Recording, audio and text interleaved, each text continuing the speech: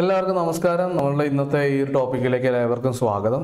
അപ്പോൾ നമ്മൾ ഇന്ന് പഠിക്കാൻ പോകുന്ന കാര്യം എന്ന് വെച്ച് കഴിഞ്ഞാൽ എന്തുകൊണ്ടാണ് സ്റ്റെബിലൈസേഷൻ നമുക്ക് ഇത്തരം കോമൺ എമിറ്റർ കോൺഫിഗറേഷൻസ് അല്ലെങ്കിൽ എന്ത് ട്രാൻസിസ്റ്റർ കോൺഫിഗറേഷനിലാണെങ്കിലും സ്റ്റെബിലൈസേഷൻ എന്തുകൊണ്ടാണ് ഇത്ര ഇമ്പോർട്ടൻസ് എന്നുള്ളതിനെ കുറിച്ചാണ് പറയുന്നത്. അപ്പോൾ സ്റ്റെബിലൈസേഷൻ എന്താണ് എന്ന് അറിയണമെന്നുണ്ടെങ്കിൽ എന്താണ് അൺസ്റ്റേബിലൈസ്ഡ് സർക്യൂട്ട് എന്നുള്ളത് അറിയണം. അപ്പൊ ഇതെല്ലാം തുടങ്ങുന്നത് ഈ ഒരു ഇക്വേഷനിലാണ് എന്താണ്? Collector current is equal to beta times base current plus beta plus one I C O ഈ ഇക്വേഷൻ നമ്മൾ പഠിച്ച ഇക്വേഷനാണ് നമ്മൾ കളക്ടർ കറണ്ടിന്റെ ഇക്വേഷൻ നമ്മൾ പഠിക്കുമ്പോൾ അതിന്റെ അകത്ത് നമ്മൾ വരുന്ന ഒരു ഇക്വേഷനാണ് അപ്പോൾ ആ ഇതിന്റെ അകത്ത് രണ്ട് കാര്യങ്ങളാണ് ശ്രദ്ധിക്കേണ്ടത്. ഒന്ന് ബീറ്റയും പിന്നെ ഐ സി ഒ ഈ രണ്ട് ആൾക്കാരും വളരെ സൂക്ഷിക്കണം എന്നാണ് നമ്മൾ കരുതേണ്ട കാര്യം. അപ്പോൾ അതിൽ എന്തുകൊണ്ടാണ് സൂക്ഷിക്കേണ്ടതെന്ന് വെച്ച് കഴിഞ്ഞാൽ ഇതാണ് issues of an unstabilized circuit ഒരു അൺസ്റ്റേബിലൈസ്ഡ് സർക്യൂട്ട് ഉണ്ടെങ്കിൽ അതിന്റെ അകത്തുള്ള പ്രശ്നങ്ങൾ ഇതൊക്കെയാണ്. ആദ്യത്തെ പ്രശ്നം എന്ന് വെച്ച് കഴിഞ്ഞാൽ temperature dependence of I C നമ്മൾ ഈ പറഞ്ഞ പോലെ നമ്മൾ ഒരു സർക്യൂട്ടൊക്കെ ഉണ്ടാക്കി അത് ഒരാൾക്ക് ഒരു ആംപ്ലിഫയർ ആണെന്ന് ഇരിക്കട്ടെ അത് ആംപ്ലിഫയർ ഉണ്ടാക്കി ഒരാൾക്ക് കൊടുത്തു. കൊടുത്തു കഴിഞ്ഞാൽ അയാൾ അത് എവിടെ കൊണ്ടുപോയി വെച്ചിട്ട് ഏത് ടെമ്പറേച്ചറിലാണ് ഓപ്പറേറ്റ് ചെയ്യണമെന്നനുസരിച്ചിട്ട് ആ ടെമ്പറേച്ചർ അനുസരിച്ചിട്ട് ഈ ഐ സി ഒക്കെ മാറും. എങ്ങനെ മാറും? എങ്ങനെ മാറും വെച്ച് കഴിഞ്ഞാൽ ഇവിടെ കാണുന്ന ഈ ഐ സി ഒ എന്ന് പറയുന്നത് ലീക്കേജ് കറണ്ടാണ് മൈനോറിറ്റി ചാർജസ് കൊണ്ടുള്ള ലീക്കേജ് കറണ്ടാണ് ഓക്കെ. നമ്മൾ പല ടൈപ്പ് ലീക്കേജ് കറണ്ടുകൾ പഠിച്ചിരുന്നു. I C E O I C B O അങ്ങനെ അങ്ങനെ നമ്മൾ ഇ സി ഒ എന്നൊക്കെ പറഞ്ഞിട്ട് നമ്മൾ കുറേ ലീക്കേജ് കറണ്ടുകൾ മൂന്ന് കോൺഫിഗറേഷൻസിൽ പഠിച്ചിട്ടുണ്ട് അപ്പോൾ ലീക്കേജ് കറണ്ട് ഒരു നഗ്നമായ സത്യമാണ്. അത് ഏത് കോൺഫിഗറേഷൻ ആയാലും അതിന്റെ അകത്ത് ഒരു കളക്ടർ ലീക്കേജ് കറണ്ട് ഉണ്ടാവും. അപ്പോൾ ആ ഒരു ലീക്കേജ് കറണ്ടിന്റെ കോൺട്രിബ്യൂഷൻ ചൂട് കൂടുന്തോറും കൂടിക്കൊണ്ടിരിക്കും. കാരണം എന്താണ്? മൈനോറിറ്റി ചാർജസ് ആണ്. മൈനോറിറ്റി ചാർജസ് ഉണ്ടാവുന്നത് എങ്ങനെയാണ്? ടെമ്പറേച്ചർ കാരണം ഇലക്ട്രോൺ ഹോൾ പെയറുകൾ ഒരു സെമി കണ്ടക്ടറിൽ ഉണ്ടാവുമ്പോഴാണ് മൈനോറിറ്റി ചാർജസ് ഉണ്ടാവുന്നത്. അപ്പോൾ ആ മൈനോറിറ്റി ചാർജുകൾ ഉണ്ടാവാൻ കാരണം ടെമ്പറേച്ചർ കൂടുന്നതാണ്. അപ്പോൾ കൂടിയ ടെമ്പറേച്ചറിൽ ഈ ഐ സി ഒന്റെ വാല്യൂ ആയിരിക്കില്ല. കുറഞ്ഞ ടെമ്പറേച്ചറിലുള്ള ഐ സി ഒന്റെ വാല്യൂ കുറവായിരിക്കും. ലോ. ടെമ്പറേച്ചറിൽ അപ്പൊ അതുകൊണ്ട് തന്നെ എന്താണ്? ടെമ്പറേച്ചർ ഡിപ്പെൻഡൻസ് ഈ ഒരു ഇക്വേഷനിൽ വന്നു കഴിഞ്ഞു. അപ്പോൾ ഈ ഐ സി ഒ വഴി നമ്മളുടെ കളക്ടർ കറണ്ടിന്റെ ഇക്വേഷനിൽ ഒരു ടെമ്പറേച്ചർ ഡിപ്പെൻഡൻസ് വന്നു. അത്ര നല്ല കാര്യമല്ല. രണ്ടാമത്തെ കാര്യം ഇൻഡിവിജ്വൽ വേരിയേഷൻസ് ഇപ്പൊ ഞാൻ കൊടുത്ത ആ ഒരു സർക്യൂട്ട് എന്റെ സുഹൃത്തിന് കൊടുത്ത ആ ഒരു ആംപ്ലിഫയർ സർക്യൂട്ടിന്റെ അകത്ത് ആ ട്രാൻസിസ്റ്റർ അടിച്ചുപോയി. പല കാരണങ്ങളാൽ അടിച്ചുപോയി. ഞാനത് മാറ്റി റീപ്ലേസ് ചെയ്ത് വേറെ അതേ പേരിലുള്ള അതേ മോഡൽ ട്രാൻസിസ്റ്റർ തന്നെ ഇട്ടാലും ഈ ട്രാൻസിസ്റ്ററുകൾ സെയിം മോഡൽ ആണെങ്കിൽ കൂടിയും ഈ ബീറ്റ എന്ന് പറയുന്ന നമ്പറിൽ ചെറിയ ചെറിയ വ്യതിയാനങ്ങൾ ഉണ്ടാവും മാനുഫാക്ചറിങ്ങിൽ വരുന്ന വേരിയേഷൻസ് ഉണ്ടാവും. അതിനെയാണ് ഇൻഡിവിജ്വൽ വേരിയേഷൻസ് എന്ന് പറയുന്നത്. അപ്പോൾ ഈ ഇൻഡിവിജ്വൽ വേരിയേഷൻസ് കാരണം നമ്മളുടെ കളക്ടർ കറണ്ട് മാറാൻ സാധ്യതയുണ്ട്. ബീറ്റ നേരത്തെ ഉണ്ടായിരുന്ന ബീറ്റ മുന്നൂറാണെങ്കിൽ ചിലപ്പോൾ ഞാൻ ഇപ്പോൾ കൊടുത്തതിന് മുന്നൂറ്റി പതിനഞ്ചായിരിക്കും അല്ലെങ്കിൽ മുന്നൂറ്റി ഇരുപതായിരിക്കും ബീറ്റ. അപ്പോൾ അങ്ങനെയുള്ള വേരിയേഷൻസ് വരാൻ സാധ്യതയുണ്ട്. അപ്പോൾ അതുകൊണ്ടും നമ്മളുടെ ആ സർക്യൂട്ടിൽ നമ്മൾ ട്രാൻസിസ്റ്റർ മാറ്റി മാറ്റി വെക്കുമ്പോഴും റീപ്ലേസ് ചെയ്യുമ്പോഴൊക്കെ ആ സീറോ സിഗ്നൽ കളക്ടർ കറണ്ട് അഥവാ നമ്മൾ മുന്നേ കണ്ട ഇതിനു മുന്നത്തെ വീഡിയോയിൽ കണ്ട ആ ഒരു ഓപ്പറേറ്റിംഗ് പോയിന്റ് ശകലം അങ്ങോട്ടും ഇങ്ങോട്ടൊക്കെ മാറിക്കിടക്കാൻ ഉള്ള സാധ്യതയുണ്ട്. ഓക്കെ അപ്പോൾ അതാണ് രണ്ടാമത്തെ കാര്യം. മൂന്നാമത്തെ കാര്യം എന്ന് പറഞ്ഞാൽ തെർമൽ റണ്ണവേ തെർമൽ റണ്ണവേ എന്ന് വെച്ച് കഴിഞ്ഞാൽ ഈ പറഞ്ഞ പോലെ ഈ ടെമ്പറേച്ചർ ഡിപ്പെൻസ് ഡിപ്പെൻഡൻസ് ഉള്ളത് കൊണ്ട് തന്നെ നമ്മളുടെ ഈ പറഞ്ഞ ട്രാൻസിസ്റ്ററിന്റെ കളക്ടർ കറണ്ട് കൂടാൻ സാധ്യതയുണ്ട്. ടെമ്പറേച്ചർ കൂടുമ്പോൾ. ടെമ്പറേച്ചർ കൂടുമ്പോൾ കളക്ടർ കറണ്ട് കൂടുന്നു. കളക്ടർ കറണ്ട് കൂടിക്കഴിഞ്ഞാൽ എന്ത് പറ്റും? കൂടുതൽ കറണ്ട് ഒഴുകി കഴിഞ്ഞാൽ I square R loss heating loss ഉണ്ടാവാൻ സാധ്യതയുണ്ട്. അപ്പോൾ ഹീറ്റിംഗ് ലോസ് ഉണ്ടാകുമ്പോൾ ടെമ്പറേച്ചർ പിന്നെയും ആ ട്രാൻസിസ്റ്ററിന്റെ അകത്ത് കൂടിക്കൊണ്ടിരിക്കുകയാണ്. അത് പിന്നെയും ടെമ്പറേച്ചർ കൂടുമ്പോൾ എന്ത് പറ്റും? ഈ പറയുന്ന ലീക്കേജ് കറണ്ട് പിന്നെയും കൂടും. ലീക്കേജ് കറണ്ട് കൂടുമ്പോൾ വീണ്ടും എന്ത് പറ്റും? ഈ കളക്ടർ കറണ്ട് കൂടി. കളക്ടർ കറണ്ട് കൂടുമ്പോൾ ചൂട് കൂടി. ചൂട് വീണ്ടും ഈ ലീക്കേജ് കറണ്ടിനെ വീണ്ടും കൂട്ടും. അങ്ങനെ കൂട്ടി കൂട്ടി കൂട്ടി കൂട്ടി ഒരു പരിധി കഴിഞ്ഞാൽ ഇതിന്റെ കെട്ട് പൊട്ടിപ്പോവും. അപ്പോൾ നൂൽ പൊട്ടിയ വട്ടം പോലെ ഈ സാധനങ്ങൾ കരിഞ്ഞ് കത്തിയങ്ങ് നശിക്കും അപ്പോൾ അതാണ് തെർമൽ റണ്ണവേ എന്ന് പറയുന്ന സംഭവം. അപ്പോൾ നമ്മളുടെ കളക്ടർ കറണ്ടിന്റെ എന്താണ് കറണ്ടിനെ അനിയന്ത്രിതമായിട്ട് കൂടാൻ അനുവദിച്ചാൽ ഈ പറഞ്ഞ ലീക്കേജ് കറണ്ട് മൂലം കൂടാൻ അനുവദിച്ചാൽ ടെമ്പറേച്ചർ ഡിപ്പെൻഡൻസ് മൂലം കൂടാൻ അനുവദിച്ചാൽ തെർമൽ റണ്ണവേയും സംഭവിക്കാം. അപ്പോൾ ഈ മൂന്ന് കാര്യങ്ങളൊക്കെ ഉള്ളത് കൊണ്ട് നമുക്ക് ഇച്ചിരി പ്രശ്നമുണ്ട്. അപ്പോൾ നമ്മൾ എന്ത് ചെയ്യണമെന്ന് വെച്ച് കഴിഞ്ഞാൽ നമ്മൾ ഈ സർക്യൂട്ടിനെ സ്റ്റെബിലൈസ് ചെയ്യണം. അതായത് കളക്ടർ കറണ്ടിന്റെ അനാവശ്യമായ വേരിയേഷൻസ് ഒരുപക്ഷെ ബീറ്റ മാറിയതുകൊണ്ടാകാം അല്ലെങ്കിൽ ലീക്കേജ് കറണ്ട് ടെമ്പറേച്ചർ മാറുന്നതുകൊണ്ടാകാം ഇങ്ങനത്തെ അനാവശ്യമായ എന്താണ് ചേഞ്ചസിനെ കൗണ്ടർ ചെയ്യാൻ വേണ്ടിയിട്ടുള്ള സർക്യൂട്ടുകളാണ് സ്റ്റെബിലൈസ് ചെയ്യാനായിട്ടുള്ള ബയാസ് സർക്യൂട്ട് എന്ന് പറയുന്നത്. അപ്പൊ അതിനകത്ത് വയർ സർക്യൂട്ട് എന്ത് ചെയ്യണം എന്ന് വെച്ച് it should ensure that there is proper zero signal collector current signal ഒന്ന് കൊടുക്കാണ്ടുള്ള കളക്ടർ കറണ്ട് അതായത് ഈ കളക്ടർ കറണ്ട് ഒരു മാറ്റമൊന്നും വരരുത്. അതങ്ങനെ മാറാണ്ട് ഇങ്ങനെ സ്റ്റേബിൾ ആയിട്ട്. ടെമ്പറേച്ചർ മാറിയാലും ശരി ട്രാൻസിസ്റ്റർ മാറ്റിയാലും ശരി അവൻ സ്റ്റേബിൾ ആയിട്ടിരിക്കണം. അതാണ് ഒരു കാര്യം. രണ്ടാമത്തെ കാര്യം പ്രോപ്പർ കളക്ടർ എമിറ്റർ വോൾട്ടേജ് ആ കളക്ടർ എമിറ്റർ വോൾട്ടേജ് പ്രോപ്പർ ആയിരിക്കണം. പിന്നെ മൂന്നാമത്തെ കാര്യം സ്റ്റെബിലൈസേഷൻ ഓഫ് ഓപ്പറേറ്റിംഗ് പോയിന്റ് നമ്മൾ കണ്ട ഓപ്പറേറ്റിംഗ് പോയിന്റ് അങ്ങോട്ടും ഇങ്ങോട്ടും മാറാനൊന്നും പാടില്ല. വർക്ക് ചെയ്ത് കുറച്ച് നേരം കഴിയുമ്പോഴത്തേക്കും ശബ്ദം പതർച്ച അങ്ങനെ എന്തെങ്കിലും പ്രശ്നങ്ങളൊക്കെ ആംപ്ലിഫി ആംപ്ലിഫയറിന് വരുന്ന വരുന്ന അവസ്ഥ. അങ്ങനെയൊന്നും വരരുത്. Operating point zero signal operating point on ചെയ്തപ്പോൾ എന്തായിരുന്നു? അത് തന്നെ ആയിരിക്കണം കുറച്ച് കഴിഞ്ഞാലും മാറ്റങ്ങളൊന്നും വരരുത്. ചൂട് കൂടുന്നതനുസരിച്ചുള്ള ചേഞ്ചുകൾ സർക്യൂട്ടിലുള്ള ചേഞ്ചുകൾ വരരുത്. അപ്പോൾ അതിനെല്ലാം കൗണ്ടർ ചെയ്യുന്ന ഒരു സാധനമായിരിക്കണം നമ്മളുടെ ബയ സർക്യൂട്ട് എന്ന് പറയുന്നത്. അപ്പോൾ ഇത് ഇവാലുവേറ്റ് ചെയ്യാൻ വേണ്ടിയിട്ട് നമ്മളുടെ കയ്യിലുള്ള ഒരു മാത്തമാറ്റിക്കൽ ടൂളിനെ വിളിക്കുന്ന പേരാണ് സ്റ്റെബിലിറ്റി ഫാക്ടർ ഈ സ്റ്റെബിലിറ്റി ഫാക്ടർ എന്ന് പറഞ്ഞ സാധനം ഏറ്റവും ബെസ്റ്റ് സർക്യൂട്ട് ആണെങ്കിൽ അതിന്റെ വാല്യൂ ഒന്നായിരിക്കും. വൺ ഇനി സ്റ്റെബിലിറ്റി ഫാക്ടർ ഭയങ്കര വലിയ നമ്പർ ആണെങ്കിൽ ആ സർക്യൂട്ട് വളരെ പൊട്ടൻ ഒരു സർക്യൂട്ട് ആണെന്നാണ് അതിന്റെ അർത്ഥം. ഭയങ്കര ബോർ സർക്യൂട്ട് ആയിരിക്കും. സ്റ്റെബിലിറ്റി ഫാക്ടർ വണ്ണിനേക്കാൾ മേലെ പോയി കഴിഞ്ഞാൽ വളരെ വലിയ വാല്യൂ ആക്കി കഴിഞ്ഞാൽ വണ്ണിനടുത്ത് കിടക്കുകയാണെങ്കിൽ വലിയ കുഴപ്പമില്ല. അപ്പോൾ അതിന്റെ ഡെഫിനേഷൻ ഇതാണ്. Stability factor S is equal to change in collector current with respect to change in collector leakage current collector leakage current കൊണ്ടുള്ള ചേഞ്ച് കളക്ടർ കറണ്ടിലേക്ക് എത്രത്തോളം സ്പ്രെഡ് ആവും എന്നുള്ളതാണ് ഈ ഒരു വാല്യൂ പറയുന്നത്. At constant base current and beta beta മാറുന്നില്ല base current മാറുന്നില്ല. ഈ രണ്ട് സാധനം മാറാണ്ട് വെച്ച് കഴിഞ്ഞാൽ ഈ പറയുന്ന കളക്ടർ കറന്റ് എങ്ങനെ rate of change of collector current with respect to collector leakage current അതാണ് സ്റ്റെബിലിറ്റി ഫാക്ടർ എന്ന് പറയുന്നത്. അപ്പോൾ നമുക്ക് ഇതിന്റെ കുറച്ച് ഒരു ഇക്വേഷൻ നമുക്ക് കണ്ടുപിടിക്കാനുണ്ട്. നമ്മൾ ഈ ഫസ്റ്റ് ഇക്വേഷനെ നമ്മളെടുത്ത് ഡിഫറൻഷിയേറ്റ് ചെയ്യും കളക്ടർ കറണ്ട് വെച്ചിട്ട്. ഐ സി വെച്ച് ഡിഫറൻഷിയേറ്റ് ചെയ്യുമ്പോൾ നമുക്ക് ഇതുപോലെ D I C by D I C beta constant ആണല്ലോ. നമ്മൾ അങ്ങനെയാണ് പറഞ്ഞിട്ടുള്ളത്. Constant beta and I B അപ്പോൾ അങ്ങനെ പറഞ്ഞിട്ടുണ്ട്. അപ്പോൾ അതിനകത്ത് D I B by D I C plus beta plus one into D I C O by D I C എന്നൊക്കെ പറഞ്ഞിട്ട് നമ്മൾ എഴുതും. ഡിഫറൻഷിയേറ്റ് ചെയ്തു. നമ്മൾ എന്നിട്ട് ഇതിന്റെ അകത്ത് അപ്പുറത്ത് ഇപ്പുറത്തേക്കൊക്കെ മാറ്റി കാര്യങ്ങളൊക്കെ റെഡിയാക്കി നമ്മൾ നമുക്ക് ഇങ്ങനെ ഒരു ഫോമിലേക്ക് നമുക്ക് കിട്ടും. എസ് ഇസ് ഈക്വൽ ടു എന്നും വേണ്ടത് കാരണം ഇവിടെ ഈ D I C O by D I C എന്ന് പറഞ്ഞാൽ വൺ ബൈ എസ് ആണ് നമ്മുടെ ഡെഫിനേഷൻ അനുസരിച്ചിട്ട്. അപ്പോൾ അതിനെ നമ്മൾ വൺ ബൈ എസ് വെച്ചിട്ട് ഇത് ഇത് ചെയ്തു. റീപ്ലേസ് ചെയ്തു. അപ്പോൾ നമുക്ക് ഈ പറഞ്ഞ പോലെ നമുക്ക് കിട്ടും. എസ്സിന് നമ്മൾ ഇവിടെ കിട്ടും. അങ്ങനെ നമ്മൾ റീഅറേഞ്ച് ചെയ്താൽ നമുക്ക് ഇങ്ങനെ ഒരു ഇക്വേഷൻ കിട്ടും. അപ്പോൾ ഈ ഒരു ഇക്വേഷനെയാണ് എന്താ സ്റ്റെബിലിറ്റി ഫാക്ടർ കണ്ടുപിടിക്കാനായിട്ടുള്ള ഇക്വേഷൻ എന്ന് പറയുന്നത്. ഇനി നമുക്കൊരു സർക്യൂട്ട് നമുക്ക് നോക്കാം. ഒരു ബയാസിങ് സർക്യൂട്ടാണ് ആ ബയാസിങ് സർക്യൂട്ടിന്റെ പ്രത്യേകത എന്ന് വെച്ച് കഴിഞ്ഞാൽ ഏതാണ്ട് ഇതുപോലെയൊക്കെ ഇരിക്കും. പക്ഷേ നമ്മൾ ഈ വി ബി ബി സെപ്പറേറ്റ് കൊടുക്കാനുള്ള വി സി സിയിൽ നിന്ന് തന്നെ ഡിറൈവ് ചെയ്തെടുക്കുകയാണ്. അപ്പോൾ അങ്ങനെയുള്ള സർക്യൂട്ടിന്റെ പറഞ്ഞ പേരാണ് ബേസ് റെസിസ്റ്റർ ബയാസിങ് മെത്തേഡ് എന്ന് പറയുന്നത്. അപ്പോൾ ഈ ഈ സർക്യൂട്ടിനെ ബേസ് റെസിസ്റ്റർ മെത്തേഡ് ബയാസിങ് എന്ന് വിളിക്കും. അപ്പോൾ ഇതിനകത്ത് നമ്മൾ ചെയ്തേക്കുന്നത് വെച്ച് കഴിഞ്ഞാൽ സെയിം സോഴ്സിൽ തന്നെ നമ്മൾ ഈ ബേസ് കറണ്ടിനെ സീറോ സിഗ്നൽ ബേസ് കറണ്ടിനെ നമ്മൾ സിഗ്നൽ ഒന്നും കൊടുത്തിട്ടില്ല. സീറോ സിഗ്നൽ ബേസ് കറണ്ടിനെ നമ്മൾ ഡിറൈവ് ചെയ്തെടുക്കും. അപ്പോൾ അതിൽ നമ്മൾ നമ്മുടെ start start point of analysis എന്ന് പറയുന്നത് നമ്മളുടെ ബേസ് കറന്റ് എന്ത് വേണം എന്ന് കണ്ടുപിടിക്കലാണ്. അപ്പോൾ നമുക്കൊരു കളക്ടർ കറന്റ് ഉണ്ടാവും നമ്മളുടെ ഒരു ആഗ്രഹമുണ്ട് ഇന്നതായിരിക്കണം കളക്ടർ കറന്റ് എന്നുള്ളത്. ഔട്ട്പുട്ട് സ്റ്റേറ്റിൽ ഓപ്പറേറ്റിംഗ് പോയിന്റ് ഇന്ന പോയിന്റിലായിരിക്കണം കളക്ടർ കറന്റ് ഇത്ര ആയിരിക്കണം എന്നുള്ളൊരു ആഗ്രഹം നമുക്കുണ്ട്. അപ്പോൾ ആ ആഗ്രഹത്തിന്റെ പുറത്ത് കളക്ടർ കറന്റ് നമുക്ക് അറിയാമെന്ന് നമുക്ക് വിചാരിക്കാം. ഓക്കെ അങ്ങനെയാണെങ്കിൽ നമുക്ക് ബീറ്റ എന്ന് പറയുന്ന സാധനം നമുക്ക് ട്രാൻസിസ്റ്റർ മേടിക്കുമ്പോൾ തന്നെ നമുക്ക് മെഷർ ചെയ്ത് നോക്കാവുന്ന ഒരു സാധനമാണ് ബീറ്റ കറണ്ട് ഗെയിൻ എന്ന് പറയുന്ന നമ്പർ അല്ലെങ്കിൽ അതിന്റെ ആ ട്രാൻസിസ്റ്ററിന്റെ ഡാറ്റ ഷീറ്റിൽ റേഞ്ച് കിടപ്പുണ്ടാവും ബീറ്റയുടെ റേഞ്ച് ഇന്ന വാല്യൂ മുതൽ ഇന്ന വാല്യൂ വരെയൊക്കെ ഉണ്ടാക്കും. നമുക്ക് വേണമെങ്കിൽ ഒരു ആവറേജ് എടുത്ത് നോക്കാം. അല്ലെങ്കിൽ ഈ പറഞ്ഞ പോലെ നമുക്ക് മെഷർ ആക്ച്വലി ആ ട്രാൻസിസ്റ്ററിന്റെ ബീറ്റ നമുക്ക് മൾട്ടിമീറ്റർ വെച്ചിട്ട് മെഷർ ചെയ്യാം. അങ്ങനെ മെഷർ ചെയ്താൽ ഇത് രണ്ട് നോൺ വാല്യൂസ് ആണ്. എന്തൊക്കെയാണ് ബീറ്റയും കളക്ടർ കറണ്ടും നോൺ വൈറസ് ബീറ്റ് നമ്മൾ മെഷർ ചെയ്ത് നോക്കും. കളക്ടർ കറണ്ട് നമ്മൾ നിശ്ചയിക്കുന്നതാണ്. അപ്പോൾ നമ്മൾ എനിക്ക് ഇത്രയും മതി. Two milli ampere collector current വേണമെന്നുണ്ടെങ്കിൽ ഇവർ രണ്ടുപേരെ അറിയാം. ഇയാൾ അറിഞ്ഞുകൂടാ ബീറ്റനെ ഐ മീൻ ബേസ് കറണ്ടിനെ അറിയാൻ പാടില്ല. ബേസ് കറണ്ടിനെ നമുക്ക് കണ്ടുപിടിക്കേണ്ടതുണ്ട്. ഇങ്ങനെ ബേസ് കറണ്ട് നമ്മൾ കണ്ടുപിടിച്ചു. അതിനുശേഷം നമ്മൾ ഇവിടെ ഒരു കർച്ചോസ് വോൾട്ടേജ് ലൂപ്പ് അപ്ലൈ ചെയ്യും വോൾട്ടേജ് ലോ അപ്ലൈ ചെയ്യും അപ്പോൾ സോഴ്സ് വോൾട്ടേജ് ഈക്വൽ ടു ഇവിടെ ഡ്രോപ്പ് ചെയ്യുന്ന വോൾട്ടേജ് പ്ലസ് ഇവിടുത്തെ വോൾട്ടേജ്.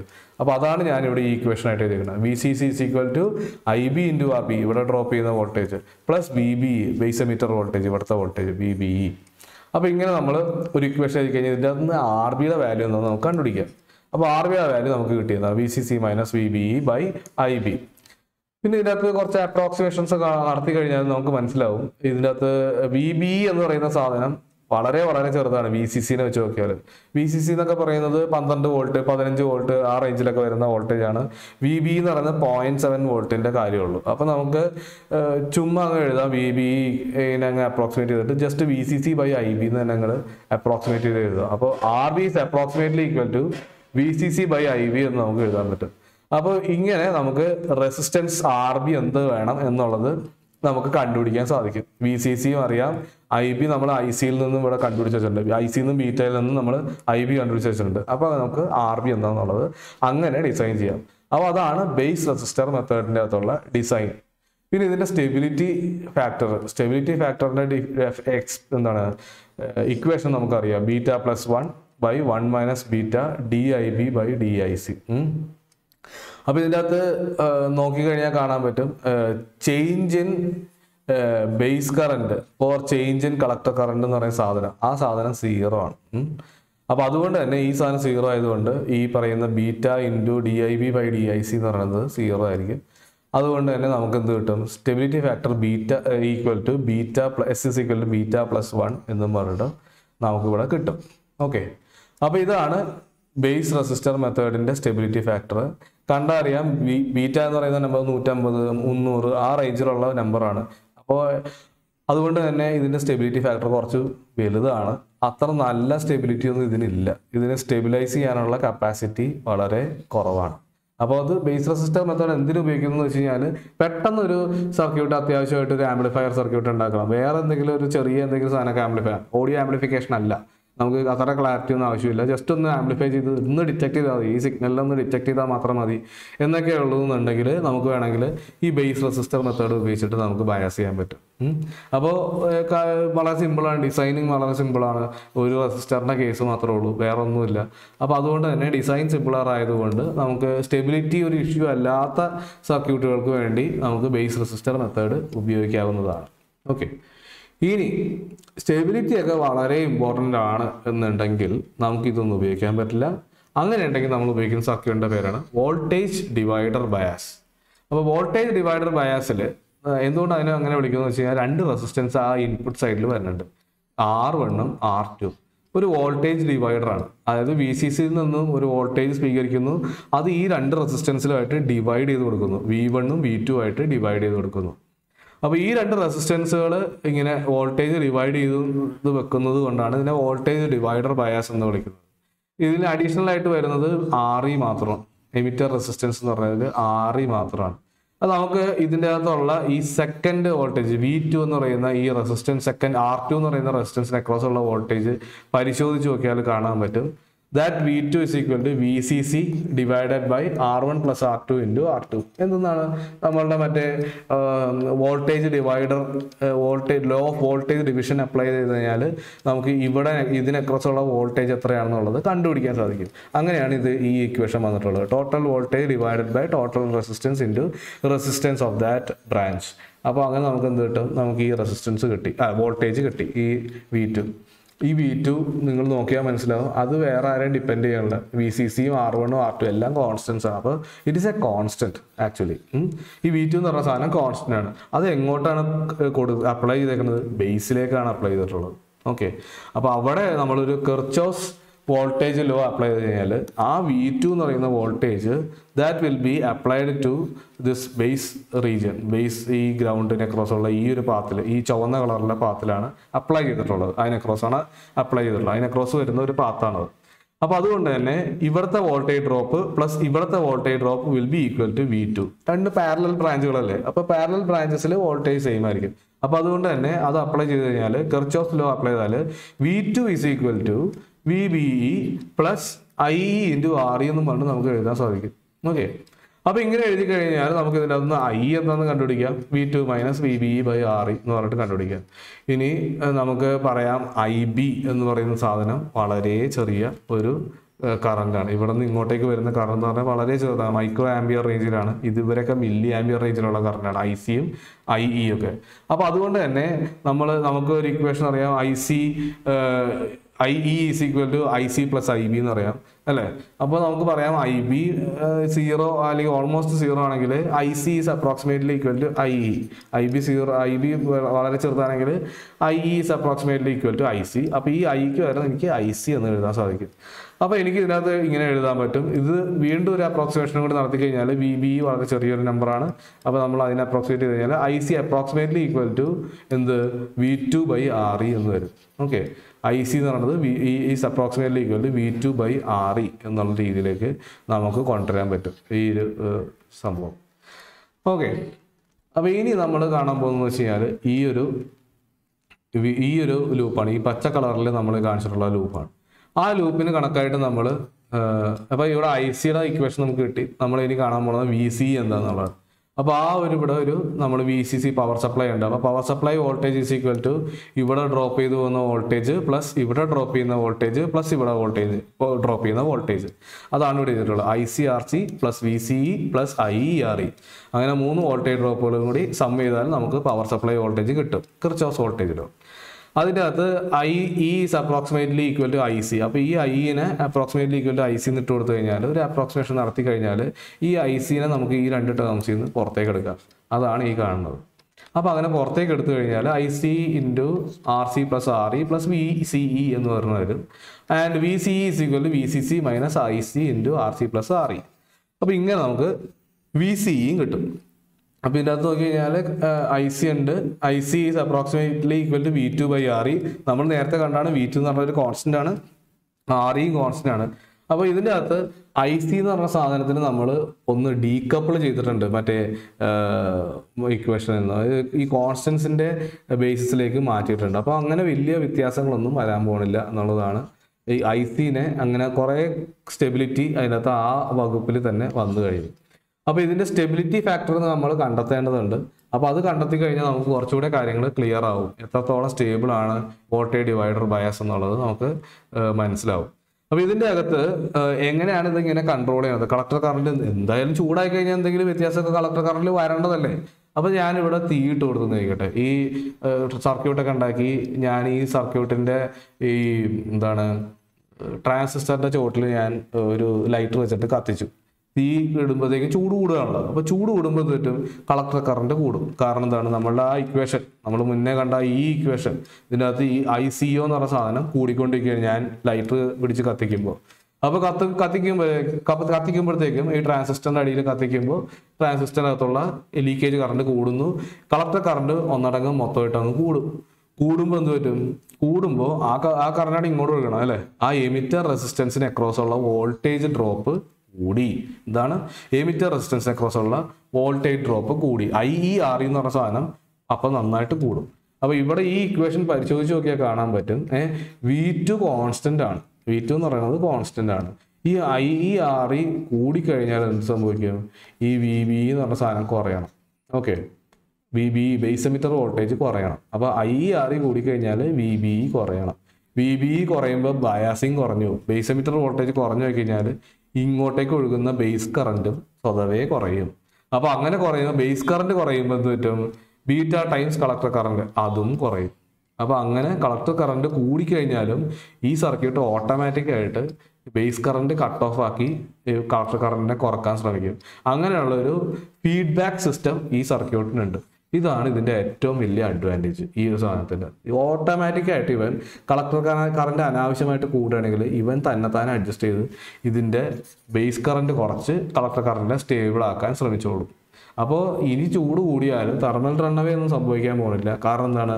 നമ്മൾ ഈ പറഞ്ഞ പോലെ ബേസ് കറണ്ടിനെ അഡ്ജസ്റ്റ് ചെയ്ത് കളക്ടർ കറണ്ട് അങ്ങ് കുറയ്ക്കാൻ ശ്രമിക്കും. ഓക്കെ ഈ പറഞ്ഞ ലൈറ്റർ ഇട്ട് കത്തിച്ച് കഴിഞ്ഞാൽ ഈ പറഞ്ഞ പോലെ ഇത് ഇതിലൊന്നും നിൽക്കൂല കത്തി കരിഞ്ഞു പോകും. ഞാനൊരു ഉദാഹരണം പറയുന്നുള്ളൂ നമ്മൾ ചൂടാക്കി. അപ്പോൾ ചൂടാക്കി കഴിഞ്ഞാൽ ഇങ്ങനെയാണ് സംഭവിക്കുക. ഇങ്ങനെ നമ്മൾ ഇവന് ഇവന് ഒരു പരിധി വരെയൊക്കെ നന്നായിട്ട് പിടിച്ചു വെക്കാനുള്ള കപ്പാസിറ്റി കിട്ടും ഈ ഒരു സർക്യൂട്ടിന്റെ ഗുണം കൊണ്ട്. അപ്പൊ അത് അതിന് കാരണം എന്ന് വെച്ച് കഴിഞ്ഞാൽ ഇയാളും കോൺസ്റ്റന്റ് ആണ്. ഇയാൾ കോൺസ്റ്റന്റ് ആണ്. ഈ ഐ ആർ എന്ന് പറഞ്ഞാൽ കൂടിക്കൊണ്ടിരിക്കുമ്പോഴത്തേക്കും ഈ ഇവൻ കുറഞ്ഞാൽ മാത്രമേ ഇവർ ഇത് രണ്ടും കൂടെ ആഡ് ചെയ്ത ഈ കോൺസ്റ്റന്റ് കോൺസ്റ്റന്റ് ആയി തന്നെ നിൽക്കുള്ളൂ ഓക്കെ വി ടു എന്ന് നമ്മളിവിടെ കണ്ടതാണ്. V two is a constant അപ്പോൾ നമ്മൾ ഐ ആർ കൂടിക്കഴിഞ്ഞാൽ V B should go down when I R is increasing V B should go down as it is required to keep this V two a constant V two constant ആയിട്ട് വരുന്നതിന് വേണ്ടിയിട്ട് ഇവർ തമ്മിൽ adjust ചെയ്ത് പൊക്കോളാം എന്നാണ് V two പറഞ്ഞിട്ടുള്ളത് ഇവരോട് രണ്ടിനോട് വി ബിനോടും ഐ ആറിനോടും അപ്പൊ അതുകൊണ്ട് തന്നെ വി ബി കുറഞ്ഞോളും. വി ബി കുറഞ്ഞാൽ ഈ പറഞ്ഞ പോലെ കളക്ടർ ബേസ് കറണ്ട് കുറയും. ബേസ് കറണ്ട് കുറഞ്ഞാൽ കളക്ടർ കറണ്ട് കുറയും. അപ്പൊ അങ്ങനെ നമുക്ക് കൺട്രോൾ സാധിക്കും. ഇനി നല്ല കൊടും തണുപ്പി കൊണ്ടു വെച്ച് കഴിഞ്ഞാൽ കളക്ടർ കറണ്ട് ലീക്കേജ് കറണ്ട് ഭയങ്കരമായിട്ട് കുറയും. ഭയങ്കരമായിട്ട് കുറഞ്ഞാലും സംഭവിക്കും? ഇതേപോലെ തന്നെ ഫീഡ്ബാക്ക് വരും. ഈ ബേസ് എമിറ്റർ വോൾട്ടേജ് കൂടും ബേസ് എമിറ്റർ വോൾട്ടേജ് കൂടുമ്പോൾ ഇവിടെ നിന്ന് വരുന്ന ബേസ് കറണ്ട് കൂടും കളക്ടർ കറണ്ട് അതനുസരിച്ച് കുറച്ചുകൂടെ കൂടും. അങ്ങനെ എന്തായിരുന്നു നേരത്തെ ഉണ്ടായിരുന്നത്? അതേ കളക്ടർ കറണ്ടിലേക്ക് എത്താൻ സാധിക്കും. അപ്പോൾ അങ്ങനെ നമുക്ക് ഇതിനെ സ്റ്റേബിലൈസ് ചെയ്യാൻ സാധിക്കും. അതാണ് വോൾട്ടേജ് ഡിവൈഡർ ബയാസ് അപ്പോൾ ഇതിന്റെ സ്റ്റെബിലിറ്റി ഫാക്ടറിനെ കുറിച്ച് നമ്മൾ പഠിക്കേണ്ടതുണ്ട്. അപ്പോൾ ഈ ആ ഒരു സർക്യൂട്ടിനെ ഞാൻ ഇപ്പുറത്തേക്ക് വരച്ചിട്ടുണ്ട്. ഈ സർക്യൂട്ടിൽ ഞാൻ ചെയ്യാൻ പോകുന്നത് ചെയ്യുന്നത് ഇതിന്റെ ഒരു ഇൻപുട്ട് സൈഡ് ഉണ്ട് അല്ലേ? ഈ ഒരു ആർ വണ്ണും ആർ ടു ബി സി സിയും ചേർന്ന ഒരു ഇൻപുട്ട് സൈഡ് ഉണ്ട്. ആ ആ ഒരു ഇൻപുട്ട് സൈഡിനെ ഞാൻ തെവനിൻ ഇക്വലന്റ് ആക്കി മാറ്റും ആദ്യം തന്നെ. അപ്പോൾ അതിന് വേണ്ടിയിട്ട് ഞാൻ ആ ഒരു കഷ്ണം മാത്രം പൊളിച്ചെടുത്ത് ഇവിടെ വരച്ചിട്ടുണ്ട്. ഈ ആർ ടുവിന് അക്രോസ് ഉള്ള വോൾട്ടേജിനെ ഞാൻ തെവനിൻ വോൾട്ടേജ് ആയിട്ടാണ് സങ്കല്പിക്കുക. അത് നമ്മുടെ വി ടു അതിനെ ഞാൻ വി തെവനിൻ എന്ന് വിളിച്ചു. ഇനി ഈ ഇതിനെ അക്രോസ് ഈ ടെർമിനൽസിന് അക്രോസ് എനിക്ക് അറിയേണ്ടത് എന്താണെന്ന് വെച്ച് കഴിഞ്ഞാൽ അതിന് അക്രോസ് ഉള്ള റെസിസ്റ്റൻസ് എന്താണ്? അതാണ് ആർ തെവനിൻ. തെവനിൻസ് റെസിസ്റ്റൻസ് അറിയണം. അതിന് ഞാൻ എന്ത് ചെയ്യുന്നത് വെച്ച് കഴിഞ്ഞാൽ വോൾട്ടേജ് സോഴ്സിനെ ഷോർട്ട് ചെയ്ത് അല്ലെങ്കിൽ ഗ്രൗണ്ട് ചെയ്യും. ഈ ഇവിടുന്ന് ഷോർട്ട് ചെയ്ത് ഗ്രൗണ്ടിലേക്ക് കണക്ട് ചെയ്യും. Replace the voltage source with internal resistance എന്ന് നമ്മൾ പഠിച്ചിട്ടുണ്ട് അല്ലേ? അപ്പോൾ ഇന്റേണൽ റെസിസ്റ്റൻസ് ഇല്ലെങ്കിൽ അതൊരു ഷോർട്ട് സർക്യൂട്ട് വെച്ചിട്ട് അങ്ങ് റെപ്രസെന്റ് ചെയ്യാം. അപ്പോൾ അതുകൊണ്ട് ഞാനിങ്ങനെ ഇങ്ങനെ ഷോർട്ട് ചെയ്ത് വെച്ചു. എന്നിട്ട് റെസിസ്റ്റൻസ് മെഷർ ചെയ്യാൻ നോക്കി കഴിഞ്ഞാൽ ഇവിടെ ഈ ആർ വണ്ണും ആർ ടുവും പാരലൽ റെസിസ്റ്റൻസുകളാണ് ഓക്കെ അപ്പോൾ R T H will be equal to R one R two by R one plus R two എന്ന് കൊണ്ട് വരും. ഇനി ഇതിന് പകരമായിട്ട് ഈ രണ്ട് ഈ രണ്ട് സർക്യൂട്ടുകളുടെ അടിസ്ഥാനത്തിൽ നമുക്ക് വി തെവനിനും ആർ തെവനിനുമായിട്ട് ഇവനെ റെപ്രസെന്റ് ചെയ്യാം. ഈ ഒരു ഭാഗത്തിനെ മൊത്തത്തിൽ ഇങ്ങനെ റെപ്രസെന്റ് ചെയ്യാം. V T H in series with R T H അത് ബേസിലേക്ക് പോകുന്നു എന്ന് പറഞ്ഞിട്ട് റെപ്രസെന്റ് ചെയ്യാം. എന്നിട്ട് ഈ ഒരു സാധനത്തിന് ഈ V C C R one R two അതിന് പകരം ഞാൻ ഇവിടെ കൊണ്ടുവന്ന് ഇടും. ഓക്കെ അപ്പോൾ V T H R T H അവിടെ നിന്ന് ബേസ് കറണ്ട് ഇങ്ങനെ ഒരു സർക്യൂട്ട് നമുക്ക് കിട്ടും. ഇനിയാണ് കാര്യം. ഇനി ഞാനിവിടെ കുറച്ച് ഡെറിവേഷൻസ് ചെയ്തിട്ടുണ്ട് എന്താണ് ആ ഡെറിവേഷൻ അതെന്ന് വെച്ച് കഴിഞ്ഞാൽ ഈ ഒരു പാത്ത് ഈ വി ടി എച്ചിൽ നിന്ന് സ്റ്റാർട്ട് ചെയ്ത് ആർ ടി എച്ച് വഴി ഇങ്ങനെ ബേസ് എമിറ്റർ ജംഗ്ഷൻ വഴി ഇങ്ങനെ പോകുന്ന ആ ഒരു ആ ഒരു പാത്തിനെ ഞാൻ കെർച്ചോസ് വോൾട്ടേജിലോ അപ്ലൈ ചെയ്യും. അപ്പോൾ എനിക്ക് എന്ത് കിട്ടും? V T H equal to ഇവിടുത്തെ voltage is equal to I B into R T H base current into R T H Thevenin resistance plus base emitter voltage plus I R E ഇവിടുത്തെ ഇവിടുത്തെ voltage drop ചെയ്യണ voltage I into R E ഇങ്ങനെ എഴുതും. എന്നിട്ട് ഐനെ ഞാൻ I C plus I B എന്ന് എഴുതും. അറിയാലോ? I I സിക്കല്ലോ I C plus I B അപ്പോൾ നമുക്കിങ്ങനെ കിട്ടും. എന്നിട്ട് നമ്മൾ ഇതിനെന്ത് ചെയ്യുന്ന വെച്ച് കഴിഞ്ഞാൽ നമ്മൾ ഇതിനെ ഡിഫറൻഷിയേറ്റ് ചെയ്യും with respect to I C I സിനെ വെച്ചിട്ട് ഡിഫറൻഷിയേറ്റ് ചെയ്യും. അപ്പോൾ ഇതൊരു കോൺസ്റ്റന്റ് ആണ്. വി ടി എച്ച് എന്ന് പറയുന്നത് കോൺസ്റ്റന്റ് ആണ്. ഡിഫറൻഷിയേറ്റ് ചെയ്യുമ്പോൾ സീറോ ആയി പോകും.